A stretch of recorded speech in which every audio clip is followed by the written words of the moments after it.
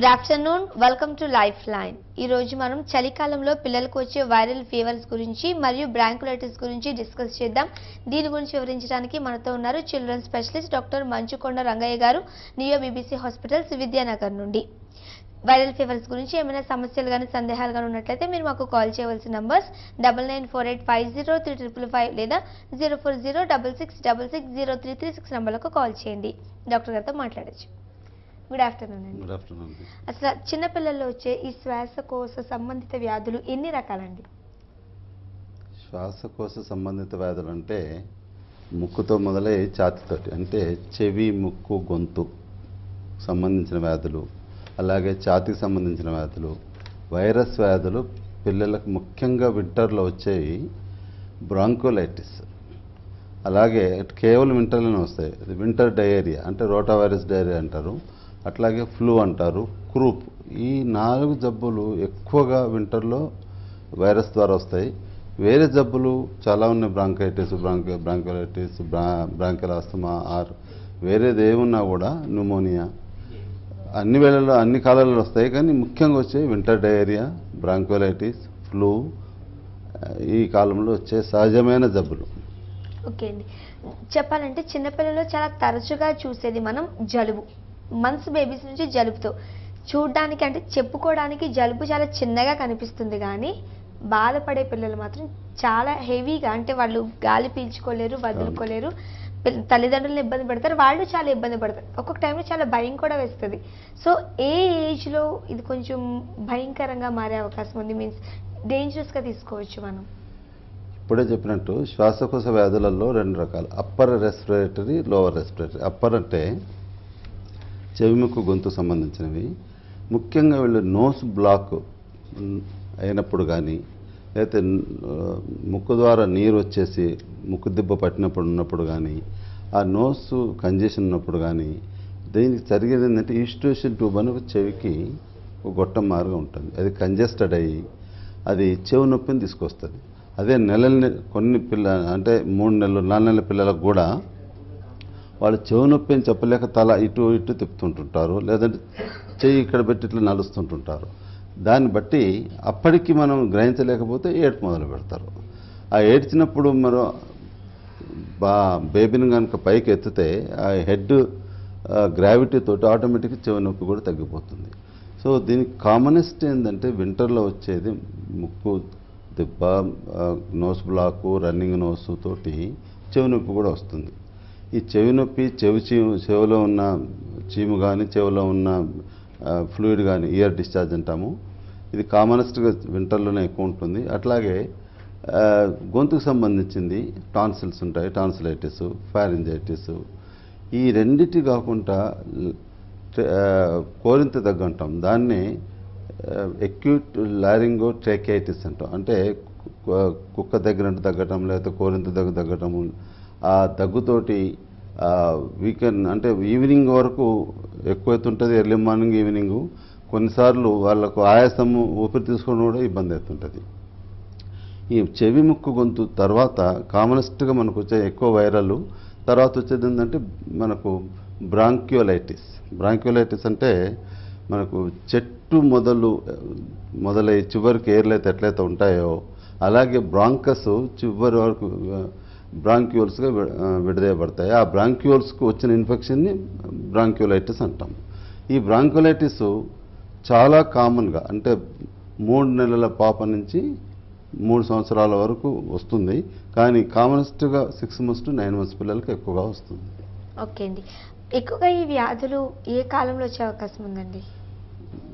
Viral వ్యాధులు కేవలం వింటర్లోనే ఎక్కువ ఉంటాయి కానీ ఇప్పుడే చెప్పినట్టు ఏ కాలంలో రావచ్చు బట్ వింటర్లో అంటే మనకు చలికాలంలో ఉన్న ఉష్ణోగ్రత వైరస్కు దానికి సరిపడి ఉంటుంది కాబట్టి వైరల్ జబ్బులు ఎక్కువ ఉంటాయి బట్ కంపేరిటివ్గా వైరల్ జబ్బులతో వచ్చిన ఇబ్బందులతో పోల్చుకున్నా కూడా పిల్లలకు వేసవి కాలంలో తర్వాత వర్షాకాలంలో ఎక్కువ ఇబ్బందులు ఉంటాయి కంపేర్ టు వింటర్. వింటర్లోకి వచ్చే ఇప్పుడు ముఖ్యంగా చెప్పినట్టు కేవలం వింటర్ డయేరియా బ్రాంకోలైటిస్ క్రూప్ మాత్రమే ఈ వింటర్లో ఉంటాయి. ఓకే. ప్రస్తుతం చాలా మంది పిల్లలు బాధపడే వ్యాధిగా మనం బ్రాంకులైటిస్ని తీసుకోవచ్చు. అసలు ఇది బ్రాంకులైటిస్ అని ఎటువంటి లక్షణాల ద్వారా మనం గుర్తించవచ్చు? బ్రాంకులైటిస్ అనే దానికి రెస్పిరేటరీ సిన్సిషియల్ వైరస్ ద్వారా మనకు ఇన్ఫెక్షన్ పిల్లలకు వస్తుంది. అది జస్ట్ మార్నింగ్ సపోజ్ ఇవాళ మార్నింగ్ పిల్లలకు ముక్కు దిబ్బబట్టినట్టు కొంచెం సర్ది చేసినట్టు కనిపిస్తుంది. అదే వాళ్ళు డాక్టర్ దగ్గర తీసుకుపోదాం అనుకున్న లోపట్లోని సాయంత్రం వరకు సడన్గా వాళ్ళకు ఆయాసం పెరగటము డొక్కలు ఎగరేయటము ముక్కు రంధ్రాలు ఎలార్నెస్ అంటాం. దాన్ని ఎగరేయటము కాస్టల్ సబ్ కాస్టల్ ఇంటర్ కాస్టల్ సూప్రాస్టర్నల్ రిట్రాక్షన్స్ రావడము ఊపిరి తీసుకోలేకపోవటము కొన్నిసార్లు ఆక్సిజన్ చేరక చేతులు కాళ్ళు బ్లూ కావటము పెదవులు బ్లూ కావటము పాలు తాగలేకపోవటము ఎక్సెస్గా ఏడవటము ఇవన్నీ కూడా అంటే తల్లిదండ్రులు ఊహించుకోని విధంగా అంటే ఉదయం బాగానే ఉండే సాయంత్రం ఇట్లా అని చెప్పి వెంటనే డాక్టర్ దగ్గర తీసుకపోతే వాళ్ళకు క్లియర్ కట్గా వాళ్ళకు రాత్రి బాగానే ఉండి పొద్దున కాస్త సర్ది చేసింది సాయంత్రం వరకు ఇట్లా అయిపోయింది. అది ఆస్కర్టేషన్ తోటి క్లియర్ వీజింగ్ అంటే పిల్లి కూతలు ఉంటాయి. పిల్లి కూతలు మన చెవులతో కూడా వినొచ్చు. ఈ ఆయాసము పిల్లి కూతలు దగ్గు తక్కువ ఏజ్ ఇమీడియట్గా మనము ఇట్ ఈస్ వైరల్ బ్రాంకోలైటిస్ అని చెప్పి నిర్ధారిస్తాం ఓకే. క్లినికల్గా. ఓకే. అసలు వైరల్ ఫీవర్స్ ఎలా సోకుతాయండి? అంటే ఇంట్లో ఒకరికి వస్తే అందరికి వచ్చే అవకాశం ఏమైనా ఉందా? వైరల్ ఫీవర్స్ అనేదానికి మూడు రకాలుగా వ్యాప్తిస్తాయి. ఒకరి నుంచి ఒకరికి వచ్చాయి. ఒకటి డ్రాప్లెట్. ఇప్పుడు ఈ బ్రాంకులైటిస్ అనే జబ్బు కూడా డ్రాప్లెట్ డ్రాప్లెట్ అంటే దగ్గినప్పుడు అదే వైరస్ ఎయిర్లో ఉండి వేరే వాళ్ళు పీల్చుకున్నప్పుడు వచ్చేదాన్ని దాన్ని డ్రాప్లెట్ ఇన్ఫెక్షన్ అని అంటాం. రెండవది ఏంటంటే కంటామినేషన్ ఈ వైరల్ డయేరియా ఇప్పుడు చెప్పినట్టు rotavirus diarrhoea or viral diarrhoea contamination అంటే తీసుకునే ఆహారము తీసుకునే పాలతోటి లేదా నీ నీరుతో కలిసినప్పుడు ఉండే వచ్చే contamination diarrhoea rota virus diarrhoea అంట. అలాగే ఇన్సెక్ట్ బైట్ మస్కిటో బైట్తో వచ్చే వైరసెస్ని అంటే dengue fever chicken chikungunya ఇవన్నీ కూడా మనకు ఇన్ ఇన్సెక్ట్ అంటే వైరస్ జబ్బులు మూడు రకాలుగా వ్యాప్తిస్తాయి. ఒకటి ఎయిర్లైట్ ఒకటి ఇన్సెక్ట్ బైట్ ఒకటి కంటామినేషన్ ఓకే అండి. ఈ వైరల్ ఫీవర్స్కి టీకాలు ఏమైనా ఉన్నాయండి? ఏ ఏజ్లో ఎంచుకుంటే బాగుంటుంది? వైరల్ ఫీవర్కు అనే దానికి వైరల్ కొన్ని వందలు ఉన్నాయి బట్ మనకు వచ్చేవి ముఖ్యంగా వచ్చేది ఏంటంటే వైరస్ ఫీవర్కు మనకు ఫ్లూ అనేది ఫస్ట్ వైరల్ ఆరు నెలలప్పుడు వ్యాక్సిన్ ఇస్తాము. మీజిల్స్ అనేదానికి తొమ్మిది నెలలప్పుడు వ్యాక్సిన్ ఇస్తాము. చికెన్ పాక్స్ అనేదానికి సంవత్సరం దాటినాక వ్యాక్సిన్ ఇస్తాము. అదే హెపటైటిస్ ఏ అనేది పదిహేను పదమూడు నుంచి పదిహేను నెలల తర్వాత ఇస్తాము. మీజిల్స్ మంప్స్ అనే దాని ఎంఎంఆర్ అది ఫిఫ్టీన్త్ మంత్ ఇస్తాము. కొన్నిటికి మాత్రం వ్యాక్సిన్స్తో మనం అరిగట్టుకోవచ్చు కానీ బ్రాంకోలైటిస్కి మాత్రం ఎలాంటి వ్యాక్సిన్ లేదు. బ్రాంకోలైటిస్ మనం కేవలం ఎలా వస్తుందనే దాన్ని కూడా అది ఓవర్ క్రౌడ్ ఉన్న ఏరియాకి పోకపోవటము. లేక వేరే పిల్లలు బ్రాంకులైటిస్ తోటి సఫర్ అవుతున్నప్పుడు మన చిన్నపిల్లలను తీసుకుపోకపోవటము. ఒకవేళ బ్రాంక్యులైటిస్ కనుక వాళ్ళకు వచ్చిందని నిర్ధారిస్తే support therapy. Support therapy means వాళ్ళకి ఆక్సిజన్ అందినప్పుడు ఆక్సిజన్ పెట్టడం జ్వరం వచ్చినప్పుడు పారాసిటమాల్ ఇన్సెన్సిబుల్ లాస్. అంటే వాళ్ళు ఆవి వాళ్ళకు ఊపిరి తీసుకునేటప్పుడు ఎక్కువగా దమ్ము రెస్పిరేటరీ రేట్ ఎక్కువైపోయి బాడీలో ఉన్న నీరు ఆవిరైపోతుంది ఇన్సెన్సిబుల్ లాస్ అంటాం. దానికి అప్పుడు డిహైడ్రేషన్ వచ్చినప్పుడు ఐవి ఫ్లూయిడ్స్ పెట్టడము. ఈ సపోర్టివ్ థెరపీ తోటి maximum three to seven days or four to seven days five to seven days maximum seven డేస్లో వైరస్లో మనం ట్రీట్మెంట్ చేసుకోవచ్చు. ఓకే ఈ బ్రాంకులైటిస్కి చికిత్స విధానం ఎలా ఉంటుందండి? ఇప్పుడే చెప్పినట్టు యాంటీబయాటిక్ వీటికి పనిచేయవు.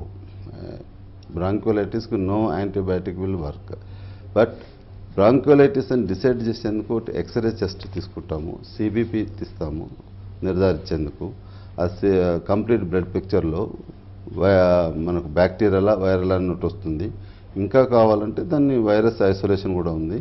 ప్లస్ ఎక్స్రే చెస్ట్ ఈ చిన్న టెస్ట్ల ద్వారా మనం నిర్ధారించి వాళ్ళకు ముఖ్యంగా వేపరైజేషన్ ఆవిరి సెలైన్ నెబులైజేషన్ అంటే వేపరైజేషన్ అంటే ఆ వేడి ఆవిరి వాళ్ళ కనుక పీల్చుకునేటట్టు పెడితే ఇమీడియట్గా క్లియర్ అవుతుంది. లేదా ఎఫినెఫ్రిన్ అనే ఒక ప్రత్యేకమైన డ్రగ్గు వేపరైజర్లో పెట్టి చేయొచ్చు. సెలైన్ నెబులేషన్ కానీ వీళ్ళకు బ్రాంకో డైలటర్స్ కానీ స్టీరాయిడ్స్ కానీ వాడకూడదు వాడినా పనిచేయవు సపోర్ట్ థెరపీ అన్నట్టు నో యాంటీబయాటిక్ ఐవీ ఫ్లూయిడ్స్ అవసరం వస్తే ఆక్సిజన్ పారాసిటమాలు వీటితోటి మనము సపోర్ట్ థెరపీ జాగ్రత్త పడవచ్చు ఒకవేళ తల్లిదండ్రులు కనుక వాళ్ళకు తెలియక వాళ్ళ ఇన్నోసెన్స్ తోటి డాక్టర్ దగ్గర తీసుకపోతే వీళ్ళు చనిపోయే ప్రమాద అవకాశం కూడా ఉంది. ఓకే అండి. లైఫ్ లైన్లో ఇప్పుడు ఒక షార్ట్ బ్రేక్.